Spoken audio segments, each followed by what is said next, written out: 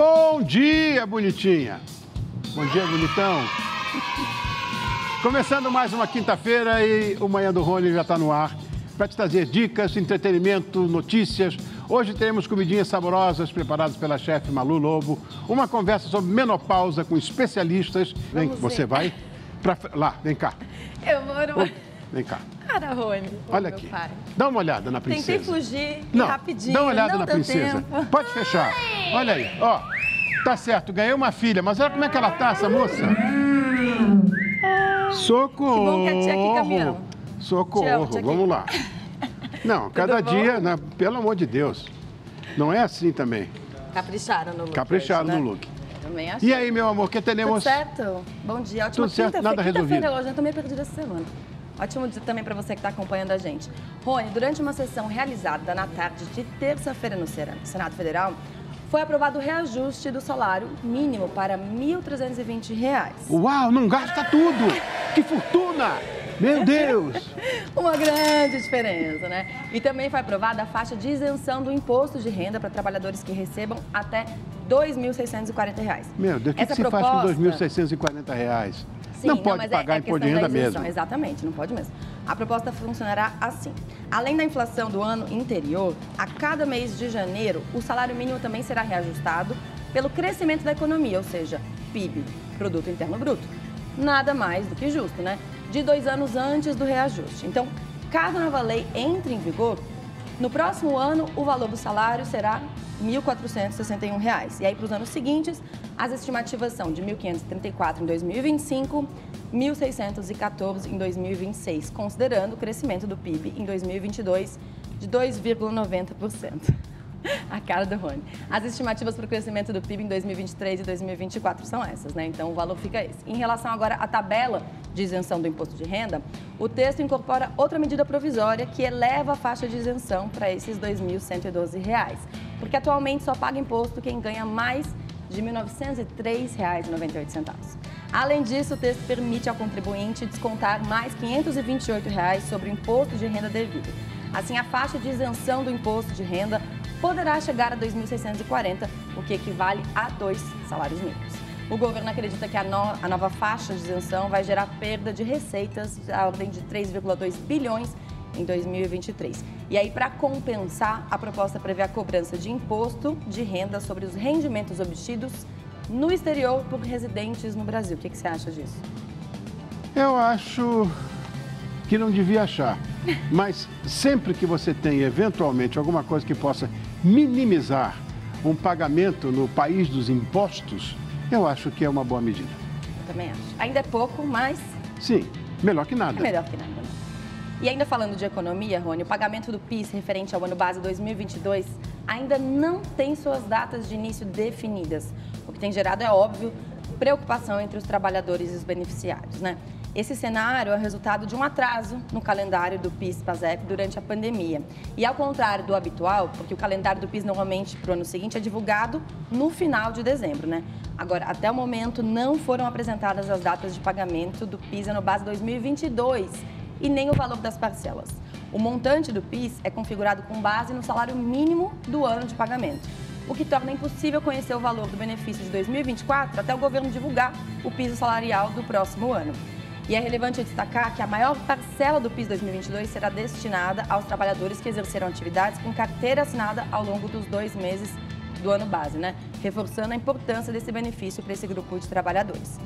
Diante desse cenário de incertezas, é fundamental que os trabalhadores que se enquadram nos pré-requisitos fiquem atentos às informações oficiais, que a gente espera que sejam em breve, divulgadas pelo governo para saberem quando poderão receber o benefício que é direito referente ao ano base de 2023. É o tal negócio.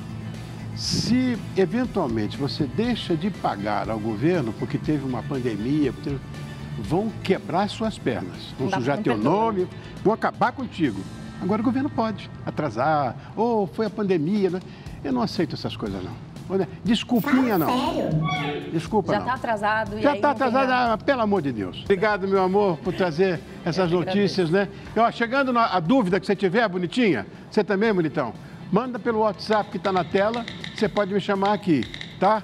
Não tem dúvida nenhuma. Paula recebe, é tudo é resolvido. Minhas crianças, A menopausa é um fenômeno natural na vida de toda mulher e geralmente acontece por volta dos 45 a 50 anos. É preciso quebrar esse tabu sobre o assunto e olhar com mais carinho para as mulheres nessa fase da vida. Inclusive, hoje nós vamos receber o ginecologista, Dr. Igor Padovese, que é meu amigo pessoal, e a endocrinologista e metabolista, doutora Tassiane Alvarenga, que acreditam que as mulheres precisam ter mais conhecimento sobre a menopausa, para que entendam o que vão passar e também para que possam fazer as melhores escolhas para lidar com os sintomas. Minhas crianças, obrigado. Querida, muito prazer te conhecer. Você é muito bonitinha. Meu Deus, nem parece médica. Igor, meu velho, como é que você está, querido? Você está bem? Graças a Deus. Ele é o médico da minha bonitinha. É o médico da Kika. Obrigado por terem vindo, acordaram cedo. O Igor eu sei que acorda cedo, Abessa. Mas você também, né? Eu também. Tá bom, então tá tudo certo. Igor, o que é a menopausa? Rony, muito importante falar sobre isso. O conceito da menopausa é quando a mulher deixa de menstruar. É, o ovário perde a função, é um processo natural do envelhecimento. Então ela deixa de ter capacidade de engravidar. Só que isso vem acompanhado de muitos sintomas que para várias mulheres é uma fase muito sofrida. Então é, é importante que as mulheres saibam o que esperar dessa fase, né? Tudo que vem acompanhado, porque hoje em dia a mulher vive muito. A mulher vai viver em média 80, 90 anos, isso é muito novo na história da humanidade. Então, daí a importância do assunto. Doutora Tassiane, existe algum exame que possa é, diagnosticar a menopausa ou não? Rony, muito mais do que um exame, a menopausa ela tem um diagnóstico clínico. São sinais e sintomas que essa mulher deve se atentar para ligar a chave. Eu estou entrando na menopausa. E nós trouxemos essa roda aqui Ah, tá. para exemplificar quais são esses sinais e sintomas. Tá. Os principais são os famosos fogachos, Ô, que são aqueles calorões, sua cliente tinha, no meio da neve, tinha calor. aqueles calorões. Então, os fogachos, aqueles calorões que as mulheres sentem principalmente à noite, no rosto, na face. Outras é aquele suor excessivo, aquela transpiração excessiva. Então, os fogachos, 80% das mulheres na menopausa vão ter esses fogachos. A irregularidade menstrual, então antes da menstruação parar de vez, ela começa a falhar, vir a cada dois, três meses. A falta de libido, de vontade de namorar, de prazer, de excitação.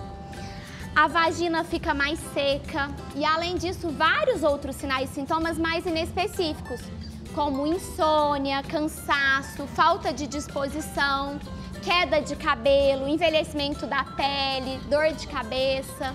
Então, é uma síndrome clínica. E é claro que nós temos sim exames laboratoriais, o FSH, o LH, o estradiol, mas que muitas vezes, na fase da perimenopausa, eles ainda estão normais ou ficam oscilando. Então, a clínica é mais importante do que o exame. Outra coisa. No seu caso, por exemplo, que é doutora nesse assunto, o metabolismo muda? E como muda? O próprio envelhecimento já vai fazer com que o metabolismo mude. A mulher e o homem também vai perdendo o músculo, que é a massa magra, e ganhando gordura, principalmente aquela gordura abdominal, que é o fantasma das mulheres na menopausa, esse ganho de peso. E a queda do estrogênio, que é o hormônio produzido pelo ovário, igual a pele envelhece, o ovário também vai envelhecendo e vai produzindo menos hormônio. E isso faz com que essa mulher ela tenha um aumento da fome e uma diminuição da saciedade. Então a mulher ela tem mais vontade de comer nessa fase. E às vezes esses famosos fogachos, calorões, não deixam a mulher dormir. E aí no outro dia ela não consegue fazer atividade física, que é a chave, é o patrimônio do metabolismo. Então o metabolismo da mulher, ela, ele muda de uma Ferrari para muitas vezes um Corsa ou até mesmo um Fusquinha. Tá. E a terapia de reposição hormonal, ela pode mudar essa história. Igor, nós estávamos falando em, em off ali sobre a, a, a- a precocidade né, da- de- desse problema, que acontece com, com gente mais jovem. A gente imagina 50, a tua cliente, por exemplo, foi com 57. Né? Foi tarde até. É, foi tarde já, né?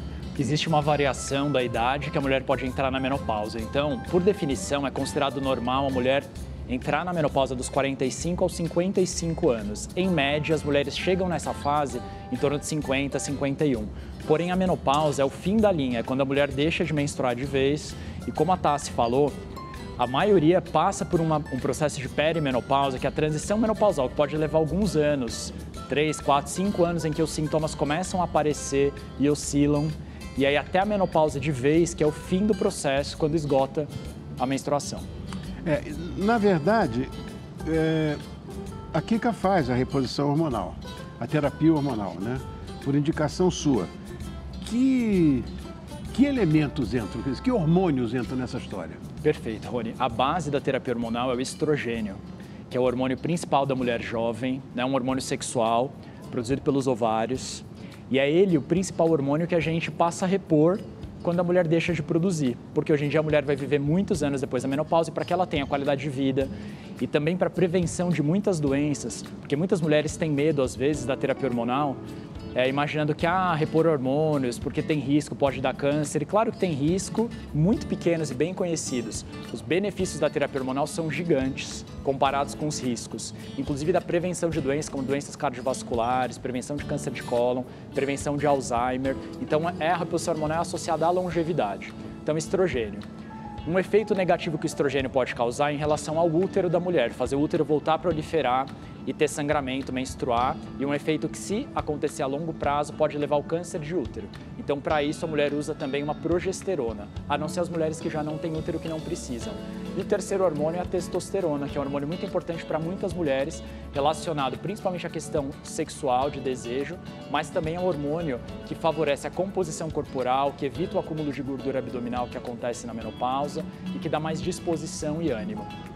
Bom, já que o Igor, já que o Igor falou de, de libido, né, quer dizer, com a testosterona, ah, cai muito né, nessa história. Cai muito, Rony, mas eu gosto muito de falar para as minhas pacientes e para as mulheres que nos assistem que não existe terapia de reposição hormonal mágica que vai consertar um relacionamento ruim. É só falar com o Igor, porque eu vou dizer, a minha bonitinha sobe as paredes. Pula no lustre e tudo, com a terapia hormonal. Ela tem 68 anos de idade. É uma adolescente. Sim. Obrigado, Beleza. Tô te devendo essa. Opa! Então, realmente, na menopausa, os hormônios caem e a libido cai. Mas não é só repor hormônio. Depende da autoestima dessa mulher, depende do autoconhecimento, depende da qualidade do relacionamento. Tá bom, isso Então, sim. é claro que o hormônio vai ajudar a manter essa chama viva. Mas existem outros fatores né? Às vezes as mulheres elas querem que o hormônio já resolva todos os problemas de libido e não é simples assim. Bom, eu tô vendo na mesa, tô vendo DIU, tô vendo pílula, tô vendo ah, aquela, ah, aquelas cápsulas que são para cheias de hormônio também para poder fazer a, a inserção, né? Ah, tô vendo ali uma vagina com útero, com trompa de falópio, com ovário, com tudo. Vamos explicar essas coisas todas pra gente? Perfeito, Rony. Eu trouxe para ilustrar as opções de terapia hormonal, porque são diversas. Tá. Então, os três hormônios que a gente falou, estrogênio, testosterona e progesterona, podem ser administrados de diferentes maneiras. O mais tradicional é a reposição via oral. Como se fosse uma cartela de anticoncepcional, também tem opções para a mulher na menopausa. Hoje a gente sabe, Rony, que ela é a pior delas. Tá. Em relação ao risco, risco cardiovascular, risco de trombose, é um risco ainda baixo, mas é maior quando ingerido por via oral. Mas é mais disponível, mais barato e acessível.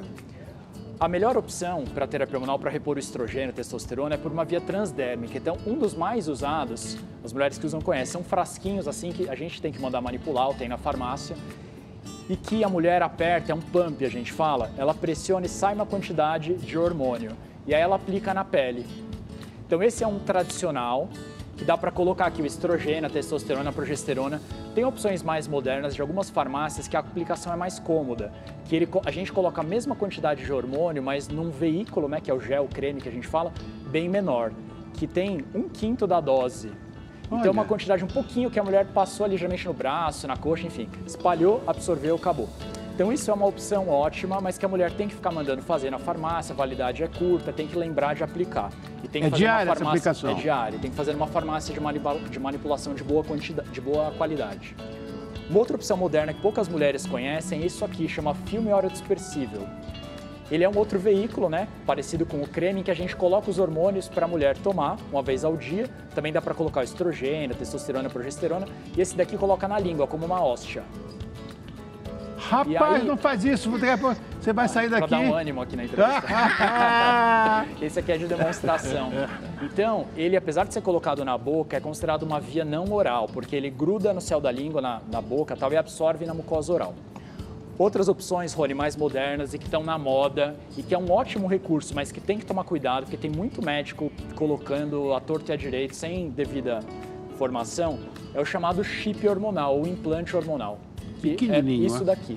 Então é uma coisa pequenininha que dura 5, 6 meses, que a gente aplica na mulher com um instrumento como esse. Então faz um procedimento geralmente aqui na nádega, uma pequena anestesia local, um cortezinho de 4 milímetros, que é o diâmetro aqui, e aí o implante é colocado através dele lá. Então tem implante de estrogênio e testosterona.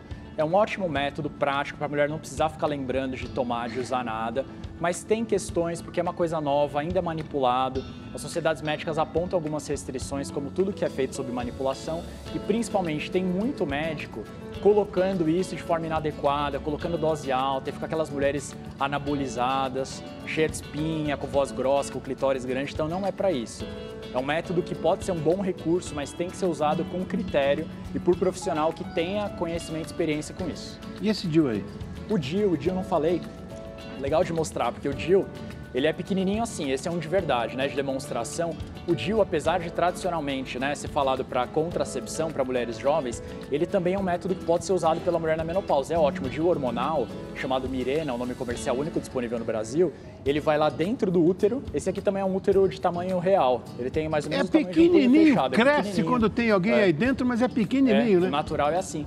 E aí o DIU fica lá dentro e ele serve como a progesterona, que é um desses hormônios. Também é uma opção cômoda. Então, por exemplo, a mulher que não gosta, não lembra, não adere ao tratamento se tiver que passar, tomar qualquer coisa todos os dias. Ela pode usar implante hormonal de estrogênio, estrogênio testo e o Mirena, que faz o papel da progesterona. Fica tudo implantável, o DIU dura 5 anos, o implante dura 6 meses. Então é uma opção cômoda, mas tem que ser sempre, mais uma vez, bem avaliado por um profissional você está olhando para mim com um olhar estranho. Você não está na menopausa, você é uma menina. Não, graças a Deus, ainda estou longe. Por que você está olhando para mim desse não, jeito? Eu acho interessante, tem tantas opções hoje em claro. dia, né? Cada vez mais acessíveis, porque como ele falou, as mulheres hoje de Já sei, 50, pergunta que 60, chegou aí, né? Claro, várias. Sinal de que a pauta está indo bem. Quando é. chega a pergunta... Olha só, a Elizabeth, de Capão Redondo, ela tem 65 anos e ela diz que depois de três anos na menopausa, um belo dia ela menstruou por quatro dias seguidos. E ela falou que o médico explicou, mas ela não achou muito convincente. Queria saber se vocês podem falar um pouco sobre isso, se é normal toda vez que uma mulher ela entra na menopausa e para de menstruar e ela tem um sangramento, pode ser normal, mas esse sangramento precisa de ser investigado. Claro, claro. Às vezes Chamado um quer... sangramento pós-menopausa. Então, por conceito, a gente chama, porque como as mulheres vão chegando nessa fase, a menstruação começa a falhar. Então, por definição, a menopausa é quando um ano a mulher ficou sem menstruar. Então, se passou mais do que isso, para ela foram três anos, ela voltou a menstruar, isso é chamado um sangramento pós-menopausa que requer investigação. Provavelmente é normal, mas é um sinal de alerta para outras condições de ter um pólipo no útero ou, mais raramente, o câncer de útero. Então, precisa de investigação. E detalhe, que se ela estiver fazendo terapia hormonal, né, repondo os hormônios, que é recomendado para todas as mulheres, então isso pode ser, na verdade, um efeito colateral do tratamento e aí é mais comum. Tá. Doutora Tassiane, o Igor acabou de falar uh, que qualquer tratamento, qualquer uh, terapia tem também um lado contrário. Sim. Uh, quais são os riscos, na verdade, dessa reposição hormonal? Se é que existem. Que fala-se muita bobagem Sim. também. Rony, a mulher hoje, ela passa quase metade da vida na menopausa. Então ela precisa não só de anos de vida, mas de vida nesses anos. Claro. Então, tu, como todo tratamento, tem que pesar os riscos e os benefícios. O risco de câncer de mama existe sim, mas ele é um risco pequeno, principalmente quando é usada a via não oral. Tá. O gel, o orofilme, Tá explicado. o implante. Então é um risco pequeno. Existe um risco de trombose?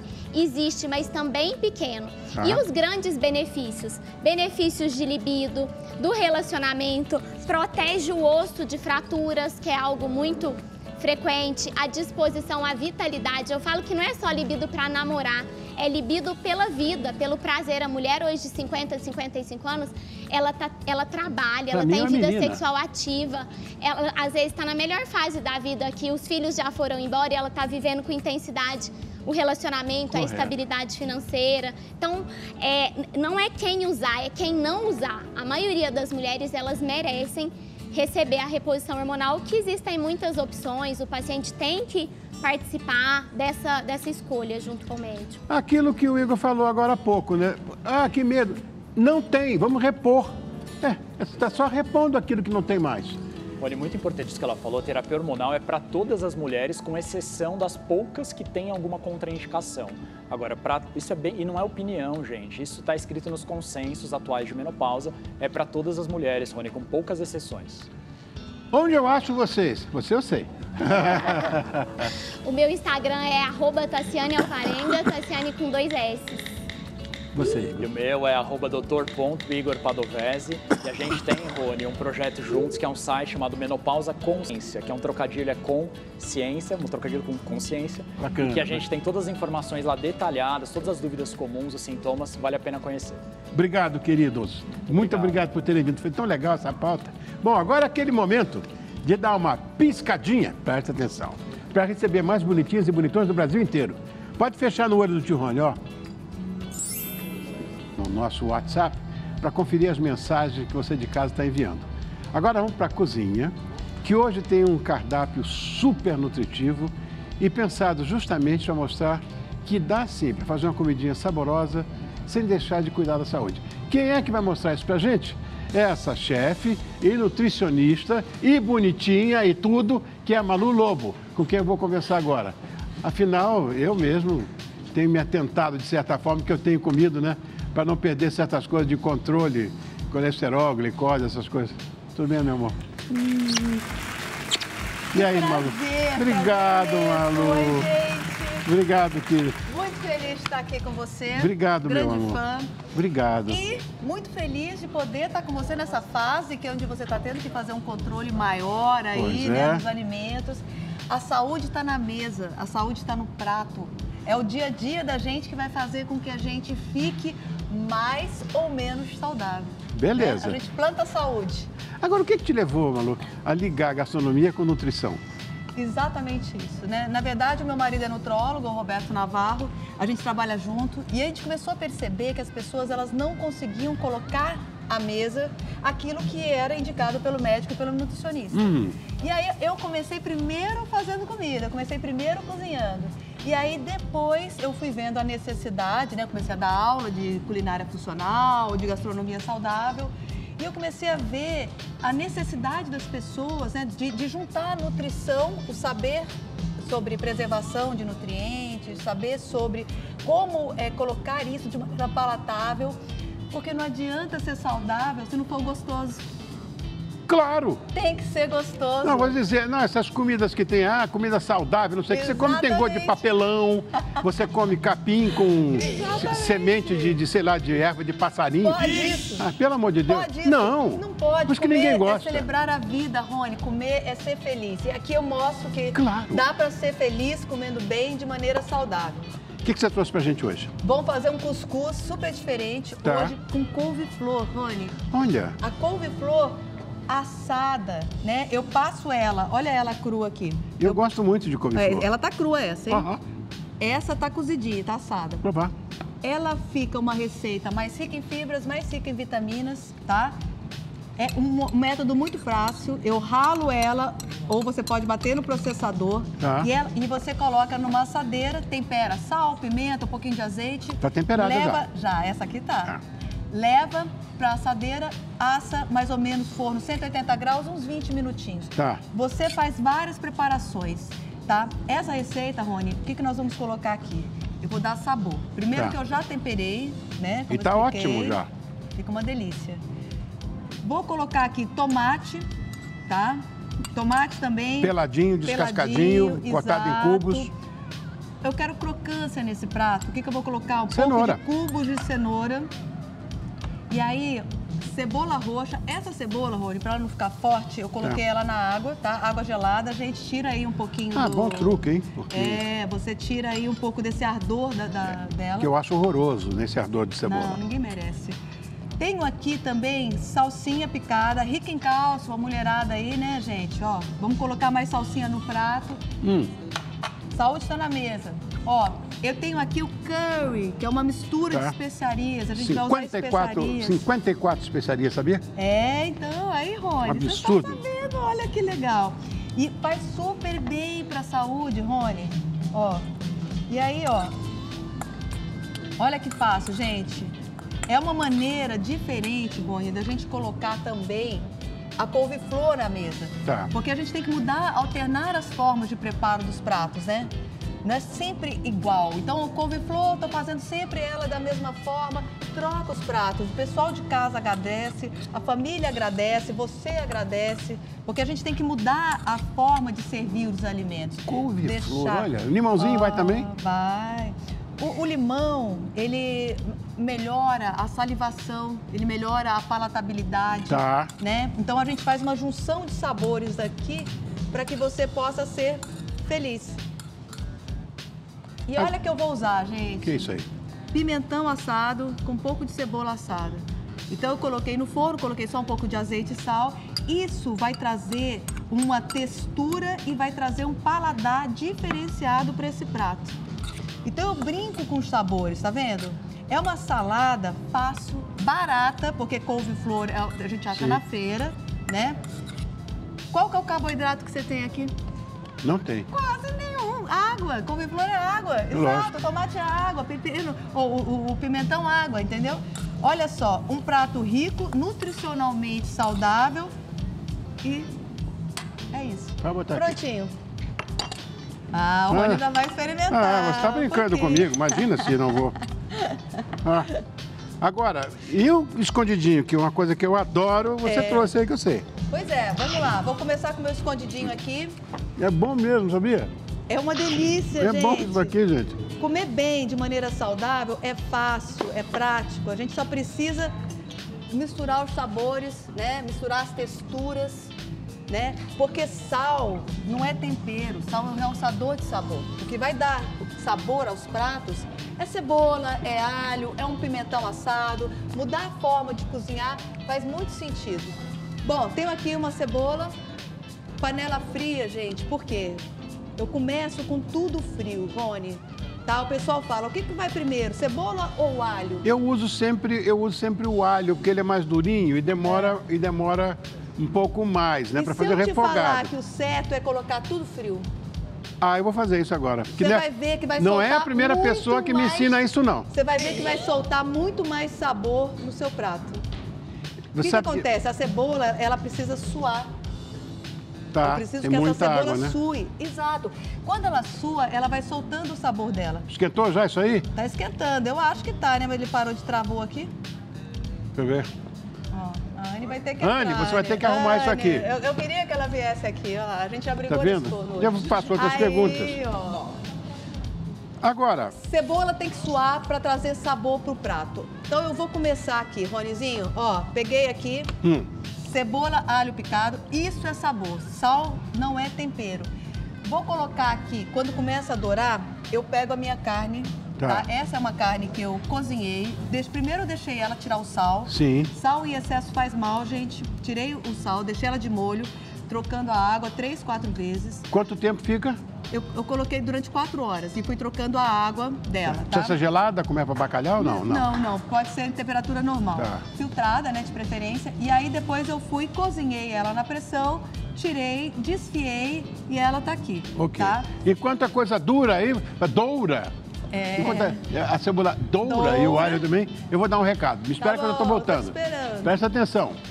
Bonitinha, bonitão, dia dos pais, tá aí, ó. Chegou. E você pode ganhar, presta atenção no que o Tione vai falar, 250 mil reais. 250 mil reais. Olha esse recadinho aí do Marcelo de Carvalho para você. Fala, Marcelão. Agora, João. O que, Marcelo? Sabe o que está acontecendo? O que que houve? Só faltam dois dias. Não! Nós vamos dar para você, para você, nosso telespectador, mas nosso telespectador que participa do Festival de Prêmios, o melhor presente da vida. Porque você pode ganhar 250 mil reais. Não perca essa chance, não perca. Enfim, dois amigos queridos. Mas olha, aproveite essa chance com o Festival de Prêmios. Participe agora mesmo. É só você comprar a sua assinatura no festivaldeprêmios.com.br. Tudo isso por um preço, é caríssimo, mas eu acho que vale a pena. Você nunca viu isso? Cinco reais. Cinco reais. O melhor presente para o seu pai e para você está aqui, no Festival de Prêmios, viu? De volta, Malu. Já Ai, adorou? que delícia. Olha o cheiro no estúdio, gente. Que delícia. Rony, deixa eu te falar. Fala, amor. Eu tô usando cebola, alho, Alho. e eu coloquei um tomate. Por que o tomate? Não sei. O tomate, além dele deixar a receita um pouco mais molhadinha... Ele solta muita ele água, né? É. E ele tem umas, o umami, que é o quinto sabor. Ele traz mais um sabor pro prato. Olha. Ele vai trazer mais um. Então, o- esse umami, ele é muito interessante para você trabalhar essa coisa da palatabilidade. Tá. Comida saudável não precisa ser ruim, pode ser boa. E aí a gente mostra isso aqui. Agora sim eu vou colocar a minha carne cozida e desfiada. Ó, Adoro carne seca. Como é que pode isso, né? É. Adoro carne seca. é, hoje você vai experimentar o meu tempero, quero ver. O pessoal de casa aí vai ver. Imagina. Ó, Ah, como essa carne, ela já está pronta, como essa carne já foi cozida, já foi desfiada, eu vou dar só um susto nela aqui, deixar ela saborizar um pouco. Eu não vou pôr sal, porque a carne seca já vem salgada. Tá. Apesar de eu ter tirado, ela ainda tem um pouco de é isso que sal. eu ia falar. E aí o grande truque para deixar saudável, nós vamos usar creme de ricota light. é Nunca uma vi. excelente fonte de cálcio, ajuda na cremosidade, tem menos gordura do que as versões né, que a gente usa aí para fazer isso. E eu vou colocar aqui um pouquinho, ó. Tá. E eu vou deixar essa, essa, essa minha carne mais cremosa. Ó. Mas cadê o, o pirê para ir em cima? Pra... É, vai, ó. Nós temos aqui, eu fiz, ó. Prontinho aqui, Rony, ó. A minha base tá aqui, tá pronta, tá? Tá. Esse daqui é o meu escondidinho, tá? E aí nós vamos pro grande truque. O que, que eu fiz aqui? Eu, nós vamos fazer a mandioca. Eu cozinhei a mandioca com um pouquinho de sal, tirei, bati ela com creme de ricota e um pouco de leite. E o grande segredo dessa receita, as pessoas ficam querendo tomar suco verde todo dia, né? Hum. Ah, o suco verde, né? Que de- detoxifica. A gente vai usar uma especiaria Cardamomo. chamada cardamomo. Gente, não existe Gosto. nada melhor que isso. E eu usei um pouco de cardamomo, né? Ela é uma baguinha, você tira e aí você corta, tira as sementes, bate ela, dá uma triturada. Tem bastante isso em casa. Você não tem noção do bem que isso faz. Que bom. É, a gente tem que usar mais especiarias, né? A gente tem que parar de achar que é só sal, gente. Especiarias, tempero, alho, cebola, é isso que vai fazer a diferença no seu prato. E eu fiz assim, bati, processei com creme de ricota para deixar cremoso, usei como especiaria o cardamomo e ao invés de manteiga, Rony, eu usei azeite, que é uma melhor fonte Ótimo, de ótimo. gordura. tá? Perfeitamente. Onde eu te acho? montar. Que tá todo mundo perguntando, velho, onde eu te acho? Quero saber onde que eu Ah, acho então, você. eu estou no Instagram como arroba Nutrichef Malu Lobo. Nutri- ali, ó, tá escrito ali, ó. Nutrichef. Nutrichef Malu Lobo, gente. Conciliando a, a- a nutrição com a culinária saudável. Muito Bom, bem. deixa Vou eu esperar eu montar. e meu brother, vamos esperar, porque tem Isso. sobremesa também. Tem tudo que você puder imaginar. Tem. E eu vou vamos montar aqui esse prato. Sim. Vou colocar aqui. Ó, que belezinha. Se tiver alguém que for intolerante à lactose... Sim, eu ia perguntar isso. Isso. Aí você pode usar o tofu também, viu? Tá. O tofu temperadinho fica uma delícia. Muito obrigado, viu, querida? Obrigado, Malu. Olha que Eu eu, sentada me beijando. Ah, Você vai voltar. querido, Você vai voltar aqui. Obrigado. Você pode comer, né, tio Rô? Paula, você virou minha filha Eu agora, virei. cada dia mais linda. É isso. Eu, te- eu tenho que falar, né? Se é minha filha, tem que ser linda. Obrigado, meu amor. Obrigada. Zé, você não sabe da minha alegria em te receber, querido. Vamos ver se a gente se une mais agora. Vou deixar vocês agora com uma moça que está de pink. Ela está de pink. Rosa Shocking. Beijo para você, meu amor. Obrigado.